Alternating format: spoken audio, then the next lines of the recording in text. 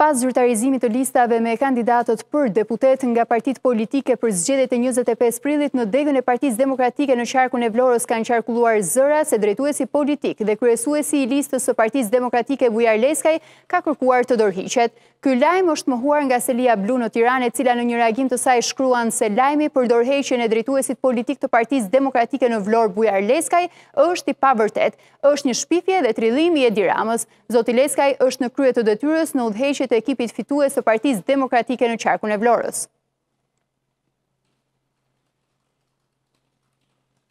Por për të marrë më shumë informacion lidhur me këto zhvillime të fundit në qarkun e Vlorës, do të kemi një lidhje të drejtpërdrejtë me gazetaren e Euronews Albania, Brieta Maçaj. Përshëndetje Brieta.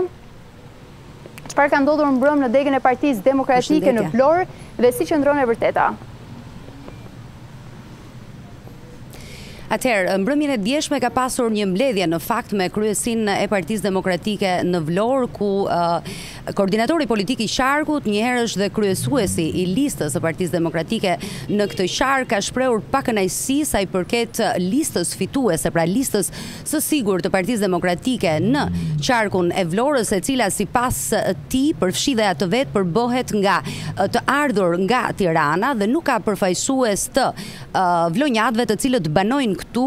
Kujtojmë që katër emrat e parë në listën e Partisë Demokratike janë Bujar Leskaj, Ina Zhupa, Fation Veizaj dhe Arbër Agalliu, të katërt pra banues në Tiranë, ndërsa sipas Leskajt, vlonjatët të cilët janë eksponentë të Partisë Demokratike, në Vlorë dhe banojnë këtu si Atird Hoxha, Nada Meçorapaj apo Hysni Sharaj janë në fund të listës, për këtë ai ka kërkuar një rishikim të listave nga kryetari i Partisë Demokratike Lulzim Basha dhe nga KQZ. Njëkohësisht kryesia e Partisë Demokratike në Vlorë është shprehur në krah të Leskajt duke thënë se do të përqafojnë çdo vendim të marrë nga koordinatori politik i qarkut pra Bujar Leskaj. Megjithatë për Euronews Kryetari i Partisë Demokratike, Dega Vlorë mbrëmjen e djeshme tha se ky lajm sa i përket dorëheqjes është i pavërtetë dhe se Partia Demokratike vijon punën në fushatën elektorale. Pra dhe është një trillim i kundërshtarëve. Këto kanë qenë zhvillimet deri mbrëmjen e djeshme.